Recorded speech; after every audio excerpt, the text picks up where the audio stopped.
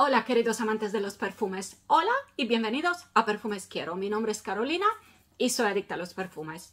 Y en el día de hoy os traigo la reseña de un perfumito con café extremadamente femenino y seductor.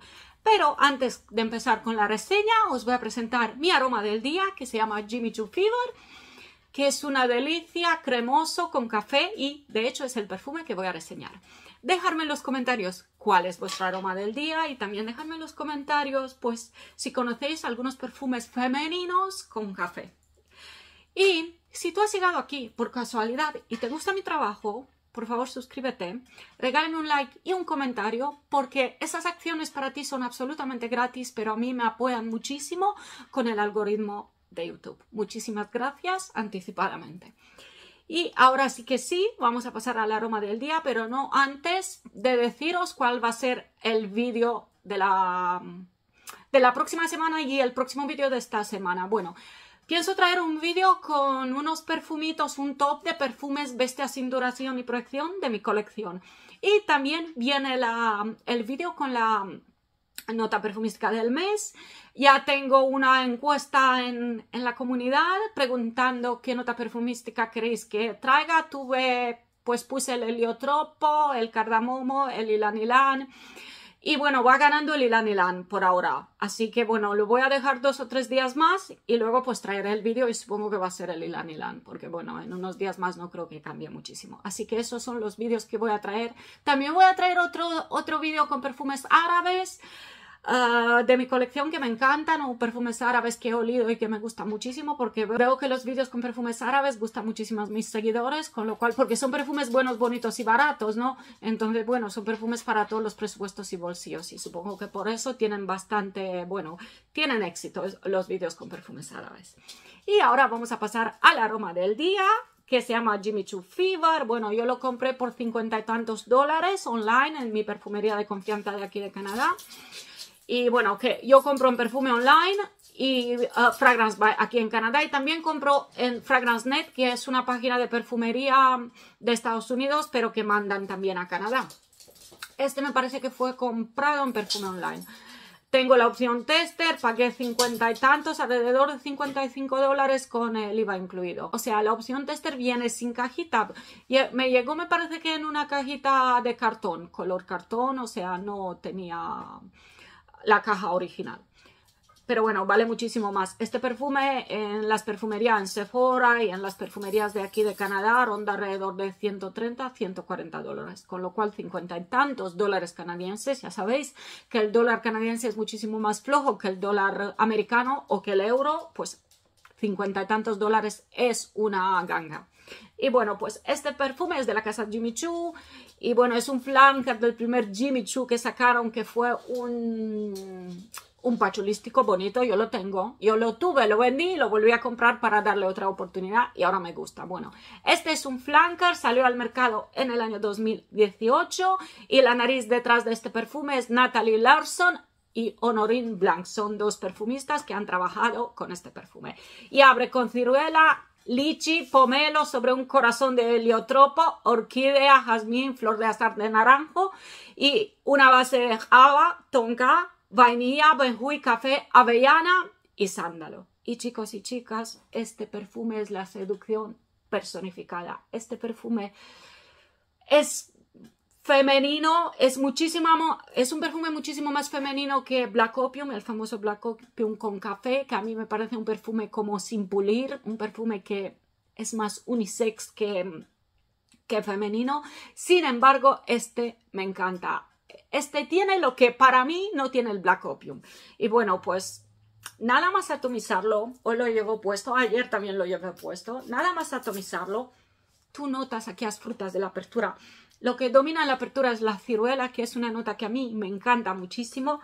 Se nota el pomelo también y se nota el lichi, pero tanto el lichi como el pomelo, que son notas un poquitín ácidas que tirarían hacia fresco, en este perfume son dulces. Tienen un vibe dulce, como un lichi más dulce, más y un, un pomelo más dulce. Supongo que por el dulzor de la ciruela que predomina aquí, pues supongo que hace que que esas dos frutas de la apertura se sientan un poquito más dulces. Y luego surge el heliotropo y la orquídea de vainilla que le aporta aquel vibe atalcado, sexy y uh, avainillado y la flor de azar del naranjo que es única en los perfumes y el jazmín. El jazmín no se nota muchísimo, sin embargo la flor de azar del naranjo sí se nota muchísimo en este perfume y el conjunto de esas notas de corazón que son el heliotropo, la orquídea que me encanta, que tiene aquel vibe avainado, atalcado también junto con el heliotropo, um, son um, le, aportan muchísima elegancia a este perfume. Es seductor, pero sexy, pero al mismo tiempo elegante. Y luego desde la base surge el benjui, surge el café, la viana, el sándalo, la tonka y la vainilla, que sería una doble, doble carga de vainilla.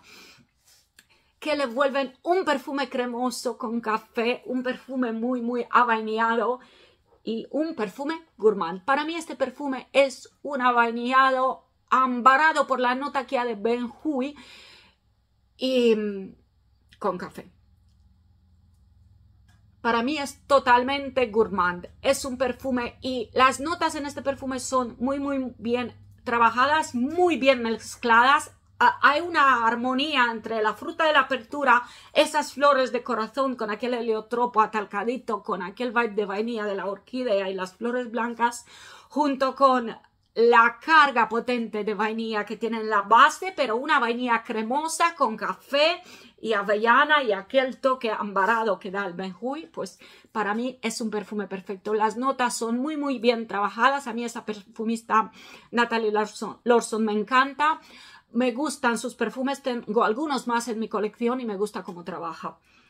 Y en conjunto, este perfume es un perfume denso, un perfume sexy, un perfume seductor, un perfume nocturno, un perfume que no es nada potente, es un perfume que tiene, al principio tiene proyección bastante alta, pero una proyección muy placentera, o sea, una estela placentera no es invasivo, aunque se note muchísimo al atomizarlo, no es nada invasivo, es placentero, dulce, afrutado, ambarado, tiene un vibe cálido, como que, te, te, abraza con su calidez, atalcadito, amaderado, cremoso por aquel sándalo de la base, un también balsámico, cremoso por el benjui y la nota de café y la vainilla, que son las grandes protagonistas, de, que es la gran historia de amor de este perfume que lo hace único. A mí me encanta, dura unas 6-7 horas en piel de proyección al principio alta, pero ya os digo, muy placentera, no es nada invasivo, no molesta y es un perfume que gusta. Y sobre todo gusta a los hombres. Este perfume para mí es atrae cumplidos, de hecho voy a hacer un vídeo también con mis perfumes que atraen cumplidos, con los perfumes que más cumplidos atraen de mi colección. Este es uno de ellos atrae cumplidos y gusta sobre todo a los hombres. Y luego tengo amigas que lo, han, ah, han olido y se lo han comprado. O sea, les ha gustado. O sea, amiga que lo huele, incluso mi hermana que lo ha olido, le gustó y se lo compró. Con lo cual, pues este perfume gusta tanto a los hombres como a las mujeres. Es un perfume sexy, seductor. Es nocturno, pero siendo placentero y nada invasivo, se puede llevar también de día y puede ser también un perfume versátil para las amantes de los perfumes dulces. Y bueno, ya os digo, 6-7 horas en piel y en la ropa dura días hasta que tú lavas la prenda. Al principio de estela y proyección alta, luego baja una proyección moderada, pero sigue siendo un perfume dulce, un perfume gourmand con café, con Trae también un vibe de nueces por, por aquí avellana. De hecho, la mezcla de café, vainilla y nueces le aporta aquel vibe gourmand, pero no es un gourmand empalagoso ni mucho menos.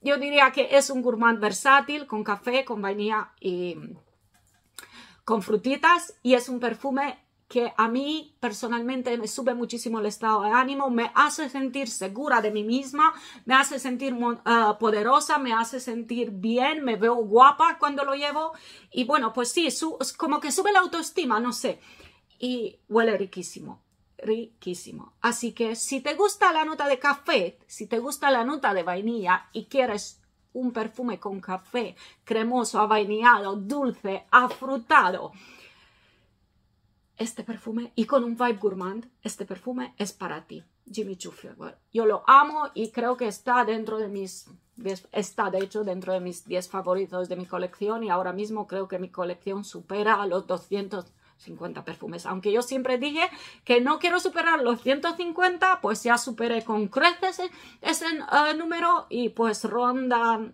creo que alrededor de 250 perfumes. Tengo de todo, tengo caros, tengo baratos. De hecho, la gran mayoría son perfumes baratos que huelen caro. Empecé a descubrir hace poquito los perfumes de equivalencia, con lo cual ya llevo pues unos cuantos en mi colección. Pero entre todos los perfumes que yo tengo en mi colección, este está en mis 10 preferidos. Y para las amantes del café, este perfume tiene que estar en tu colección. Es una obra maestra de la perfumería. Jimmy Choo Fever, muy recomendado. Así que nada, no me enrollo más.